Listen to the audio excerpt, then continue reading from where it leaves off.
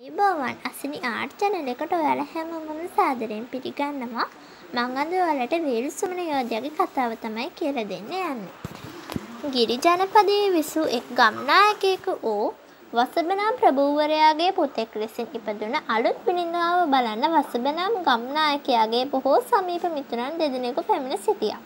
මේ මිතුරන් දෙදෙනාගේ නම් වූයේ වේලු හා සුමනයි. මේ ගම්නායකයා හිතුවා තමන්ගේ පුතාට මේ මිතුරන් දෙදෙනාගේ නම් තබන්න ඕනෑය කියලා. මේ අනුව වේලු හා සුමන යන නම් දෙකම එක්කොට වේලු සුමන යන නම යෙදුවා. වේලු සුමන ඉතා කුඩා කාලයේ පටන් සිය ශක්තිමන්ත බව පෙන්වූ අසාමාන්‍ය දරුවෙක් වුණා. වේලු සුමන දිනක් තරුණ මේ වේලු මණ්ඩිය වේලු මාමණ්ඩිය මුණ ගැසෙන්නට ගියා. දිනක හරි අපූරු දෙයක් සිදු වුණා. වේලු මාමණ්ඩියට හිටියා මෙල්ල කළ නොහැකි තරුණ අශ්වයෙක්. ලාබාල තරුණයෙක් වුණත් වෙලෙසමන ඒ අශ්වයාට සුළු වේලාවක් ඇතුළත දමනය කොට මෙල්ල කරන්නට සමත් වුණා. මේ සිද්ධියෙන් පසුව මේ වේලුසමන තරුණයා ගැන කවුරුත් කතා කරන්න පටන් ගත්තා.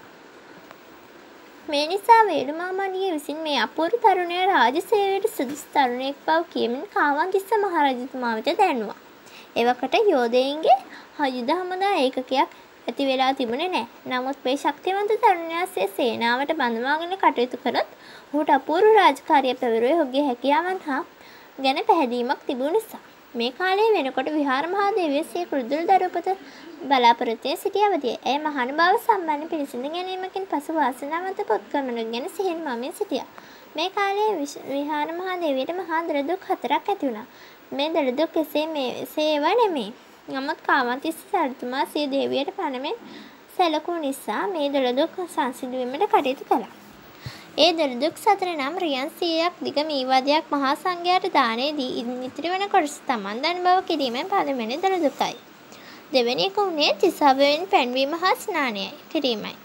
මේ දොළදුන් දෙක අපහසුවකින් තොරව ඉටුණා. තුන්වෙනි එක නම් අර රජුගේ දොළදුක මේ එරාදෙන රජුගේ නායකයා නායක යෝධයාගේ හිස කැපුව කඩුව සෝදා ඒ වතුර බොනේ. හතරවෙනි දළදකුණේ එරා රජු විසින් බොහෝ සෙයින් ආරක්ෂිතව රැක ගැනීම බලාගෙන තිබුණු පොකුණෙන් මානෙල් මල් විත් පළඳා ගැනීමයි. මේ සඳහා දෙවෙනි හා සිව්වෙනි දුරදුක් සංසිඳුවීම සඳහා අවශ්‍ය කටයුතු සම්පාදනය කරන්නට සාමාන්‍ය කෙනෙකුට නොහැකි බව අවබෝධ කරගත් කාවන්තිස්ස රජු මේ වගකීම් බාර දුන්න වේලසමන යෝධයාට. වේලසමන යෝධයා විසින් සකස් කළ සැලසුමක් ක්‍රියාත්මක කළා. වෙස්වලාගත් වේලුසමන අනුරපුර ගොස් එළා රජුගේ අස්වගලේ අතවැසියෙකු ලෙස සේවයට බැඳුණා. වේලුසමන සිය හැකියාවන් පෙන්වමින් අශෝගාලයේ ප්‍රධාන පාලකයා බවට පත්වුණේ බොහොම ඉක්මනින්. ඉන්පසු අශෝගාලයේ සිටි ශක්තිමත් අශ්වයා වූ රණමද්ද අශ්වයා හොඳින් හඳුනාගෙන මෙල්ල කරගෙන තමන්ට සමීප කරගත්තා.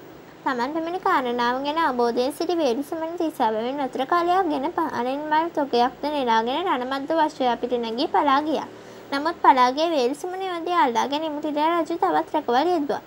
මේ අනුව මහවැලිගඟේ වඩමවන්න නම් තොටුපළේ රැඳෙමින් වේලුසමන සෙනවිය අල්ලන්න දහසක් දෙමළ සේනාව ගඟේ එගොඩද වඩම්මන නම් දෙමළ යෝධයා තවත් දහසක් සේනාවද අත්විතීය ශක්තියක් භවය අනුහසේ.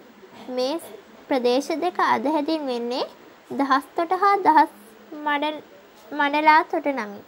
යුද සේවයෙන් විශ්‍රාමගේ වේලුසමන යෝධයා බුදුසසුනට රැඳව කටයුතු කරමින් බොහෝ කුසල් රැස්කොට අවසානයේ මිය පරලොව ගොස් දිව්‍ය ලෝකෙ උපන් බව සඳහන් වෙනවා.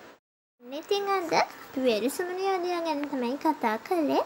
ඔයාලා තාම අපේ YouTube channel එක subscribe කරේ නැත්නම් subscribe කරලා ළඟම තියෙන bell icon එක click කරන්න. මම මේ වගේ දසම හයෝධය 10 දෙනා ගැනම ඔයාලට මේ හැමදාම වීඩියෝ ගානේ දානවා. ඔයාලා ඒවා බලන්න. ඒ වගේම like කරන්න, share කරන්න, comments දාන්න. ඔයාලා මගේ අනිත් YouTube channel එක බලන්න මේ බලන්න. මම ඒකේ link එක මේ වීඩියෝ එකේ description box එකේ හරි නැත්නම් comment bar එකේ හරි දාන්නම්. උපේක්ෂා කුකරි channel තමයි මගේ අනිත් YouTube channel එක. ඔයාලා ඒකත් බලලා subscribe කරලා bell icon එකත් click කරන්න. මගේ වීඩියෝ හොඳයි කියලා හිතෙනවා නම් like එකක් දාන්න, comment දාන්න, share කරන්න. හැමෝටම බොහොම ස්තුතියි. ආයිබ